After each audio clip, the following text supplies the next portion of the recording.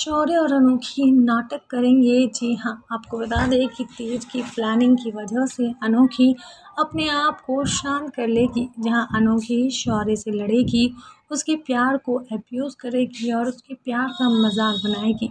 पर ये सब एक खेल होगा, ये सब एक नाटक होगा, जिस नाटक की वजह से सभरवाल के होश उड़ने वाले हैं।